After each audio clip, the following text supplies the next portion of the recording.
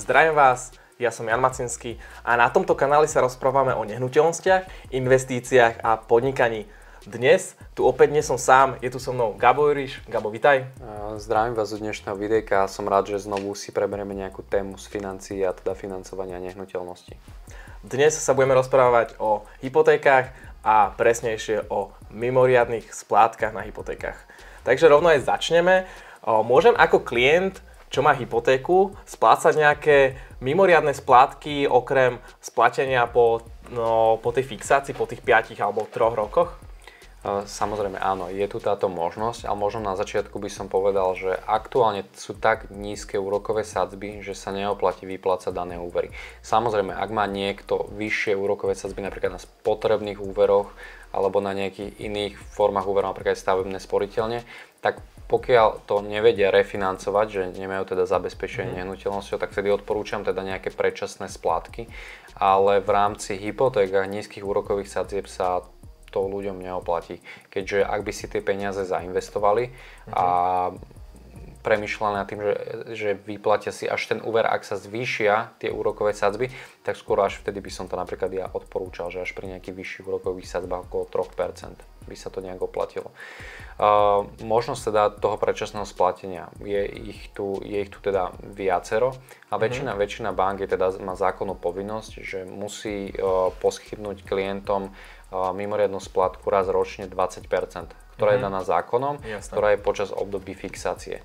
Uh-huh. Po konci fixácie môže kľudne vyplatiť človek celú, celú hypotéku bez nejak, nejakú nároku na nejakú pokutu. Jasné, a to môže byť v podstate o, tá pokuta o, maximálne teda do výšky 1% z aktuálneho zostatku úveru. Áno, áno, je to vždy uh-huh. jed, maximálne 1%, ono sa tam berú reálne náklady, ktoré sú s predčasným splatením. Niektoré banky si uplatňujú plné 1%, niektoré niečo pod. Samozrejme, ako si to oni obhaja to je na ich, ich strane, ale väčšinou teda uplatňuje plné 1%.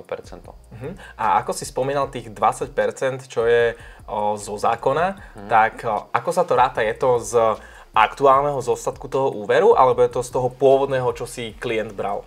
No, tuto to nie je presne špecifikované v zákone, je to dané, mm-hmm. že 20% a tým pádom niektoré banky uplatňujú 20% zo aktuálneho zostatku mm-hmm. a niektoré banky uplatňujú 20% zbraného úveru.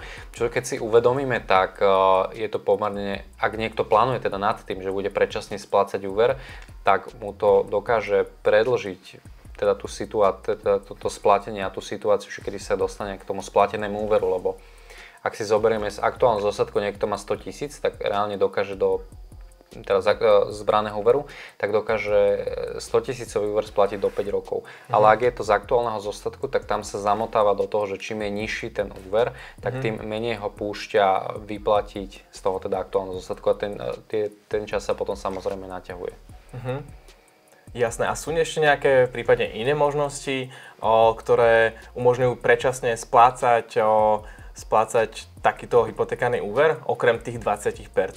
Hej, sú, sú niektoré banky, ktoré umožňujú nad rámec, teda 20% ešte vo výplati, čiže až 40% napríklad. A potom je tu ešte jedna z bank, ktorá dokáže, mm, dokážete na základe mimoriadnej splátky cez smart banking, uh-huh. vlastne každý, každý mesiac si teda maximálne 1,5% dať ako teda mimoriadnú splátku. Uh-huh. Keď hovorí smart banking, tak o, to bude asi ČSOBčka? Áno, je to jediná banka, je ČSOB, uh-huh. ktorá sa dokáže mesačne ako keby ešte dať nad rámec mimoriadnu splatku, čo teda keď sme uh, spolu počítali, tak to vychádzalo cez 18%. Uh-huh, jasné, čiže 1,5 krát v podstate 12 mesiacov, to je 18% a plus ešte tých 20%, čiže ano, ano. vie klient platiť 38% za jeden rok?